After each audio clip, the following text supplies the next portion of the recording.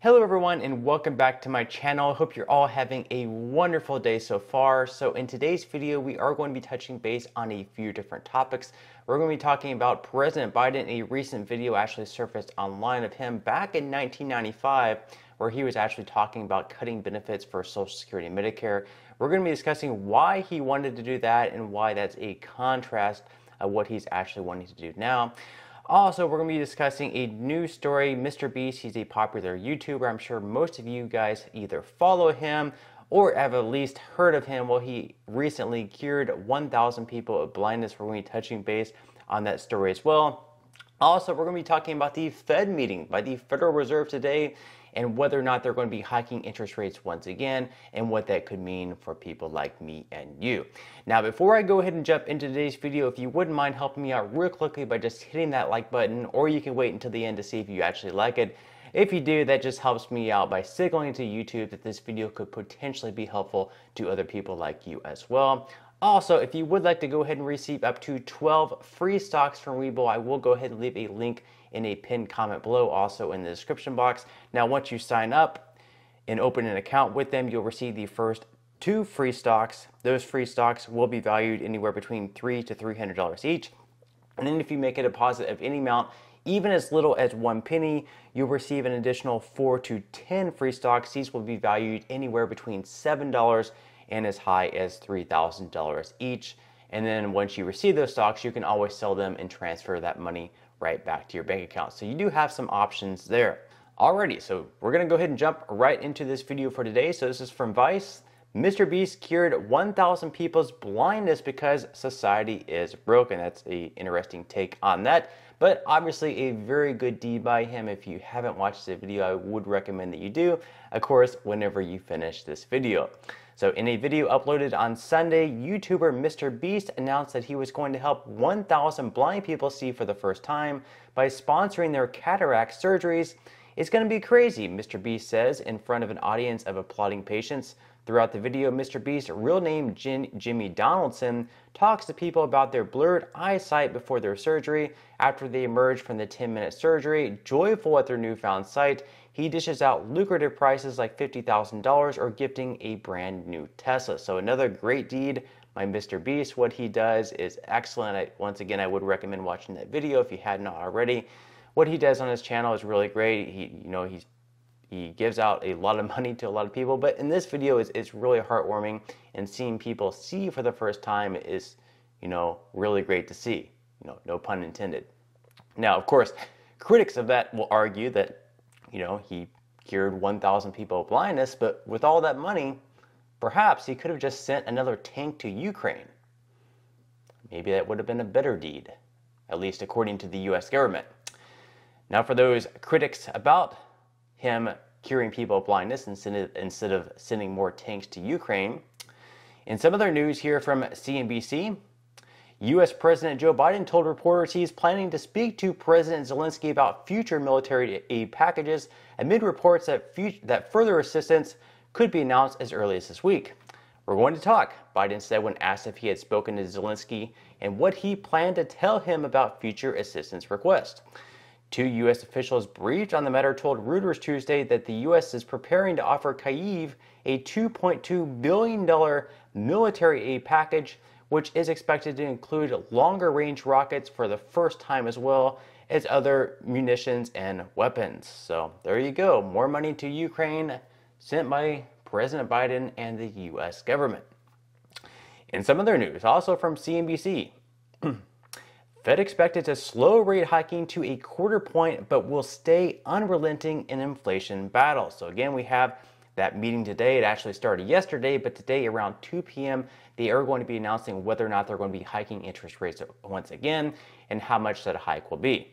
So the Federal Reserve is expected to raise interest rates by just a quarter point, but also likely signal it will stay vigilant in its fight against inflation, even as it reduces the size of the hikes. The Fed releases its latest rate decision Wednesday at 2 p.m. Eastern Time, and Fed Chairman Jerome Powell briefs the media at 2:30 p.m. The expected quarter point hike follows a half percentage point increase in December and would be the smallest increase in the federal fund's target rate range since the first hike of the cycle last March. The markets have been rising as investors expect the central bank might succeed in a soft landing for the economy while also snuffing out inflation sufficiently to move back to easing policy.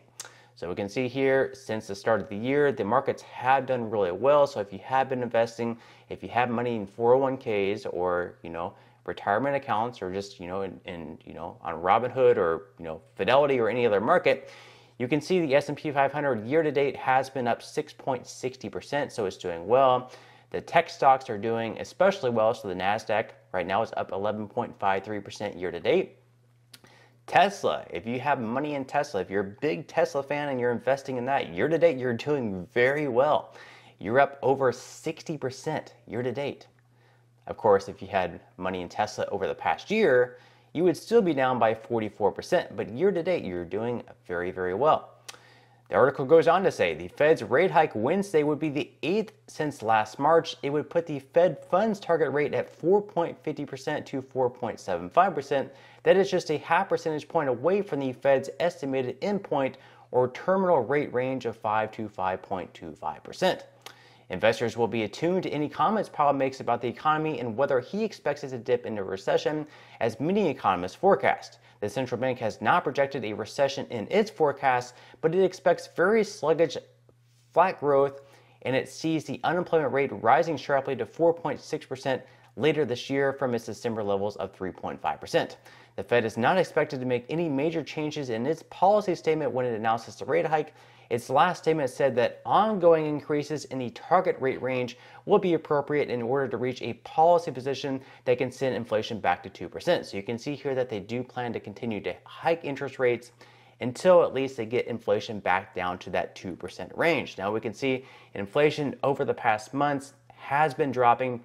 It reached its peak last summer at 9.1% and has since dipped all the way down to 6.5%.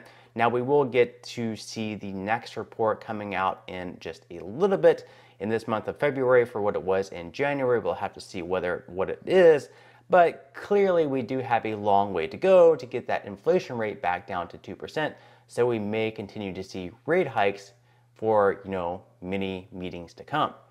Now, with these rate hikes, what it means for me and you is that credit card interest rates are heading to 20% on average and this article is once again from CNBC. So it says that credit card interest rates reached record highs last year, and there is still more to come in 2023. So credit card rates are now more than 19% on average, which is an all time high after rising at the steepest annual pace ever in step with the Federal Reserve's interest rate hikes to combat inflation. So, what that means for me and you, once again, higher interest rates with our credit cards this is not financial advice, but what I'm doing is I'm making sure that I'm paying my credit cards off in full if I can, or any other debt that I have, these any other debt that has you know variable interest rates that will continue hiking. So you will notice on your credit card statements your interest rates are going to continue climbing, which means if you carry a balance on your credit cards, it means that you're going to have to pay more in interest. So, if you can, again, not financial advice, I'm not a financial advisor, but make sure if you can to pay your credit card balances off in full. That way you're not accumulating more interest. Now, in some other news, today President Biden and Kevin McCarthy, the House Speaker, are going to be meeting at the White House amid a debt ceiling fight. So, according to Fox News, President Joe Biden and House Speaker Kevin McCarthy will meet at the White House on Wednesday to discuss a range of issues, including ways to reach an agreement to raise the debt ceiling while satisfying both sides of the aisle. The meeting between the two is the first since McCarthy took the gavel as the Speaker of the House last month. Ahead of the meeting, the White House released a memo penned by Director of the Economic Council Brian Deese and Director of the Office of Management and Budget Shalanda Young, laying out Biden's plans for the conversation. Deese and Young said Biden would pose two questions to Speaker McCarthy. So these two questions are Will the Speaker commit to the bedrock principle that the United States will never default on its financial obligations? So this is two things that they're saying that President Trump and also Reagan said that it is critical to avoid debt limit brinkmanship. They also said that Biden will ask McCarthy when House Republicans will release their budget and what that will entail. So those are the two questions there that they're going to be, you know, asking. And of course, Kevin McCarthy got the memo and he wrote on Twitter, Mr. President, I received your staff's memo. I'm not interested in political games. I'm coming to negotiate for the American people. So it should be interesting what comes out of this meeting. Biden said he's not ne- going to negotiate this at all. And, you know, there's, whole talks that Republicans are wanting to cut Social Security or Medicare in order to raise the debt ceiling.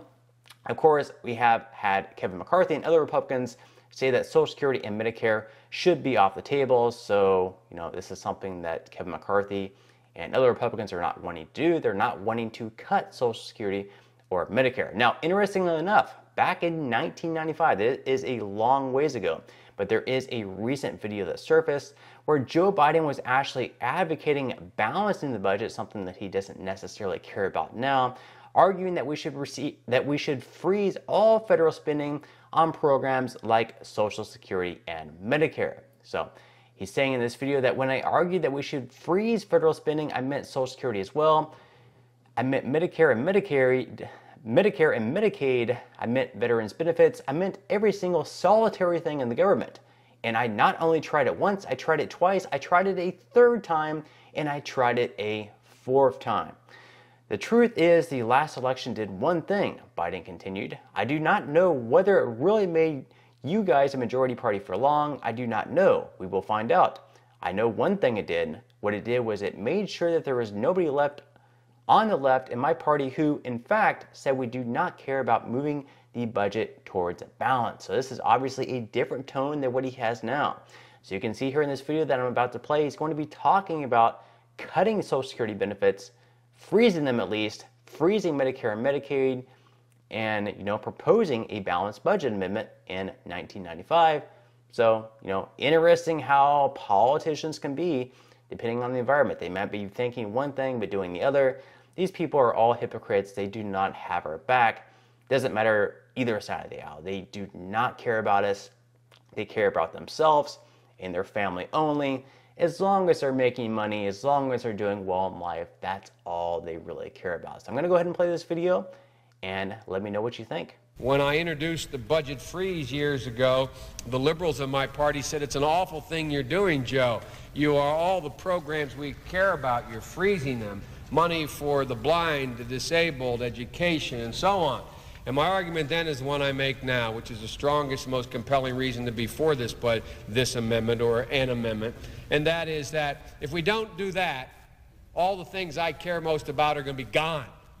I mean, whatever happened to that old conservative discipline about paying for what you spend? I'm up for reelection this year, and I'm going to remind everybody what I did at home, which is going to cost me politically.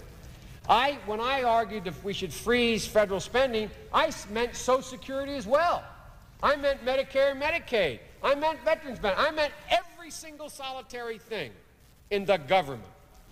And I not only tried it once, I tried it twice, I tried it a third time, and I tried it a fourth time. Somebody has to tell me in here how we're going to do this hard work without dealing with any of those sacred cows. So again, a pretty interesting stance of Joe Biden back in 1995. Things sure have changed, and one thing that I've noticed, especially of Biden back in 1995, he sure seems a lot sharper than what he does today. But let me know what you think about that in the comment section below. But that's all the news that I have for today's video. So again, if you enjoyed the content today's video and you would like to see more like it, again, I would greatly appreciate if you would give this video a like, subscribe to my channel if you have not already, and I will see you in the next one.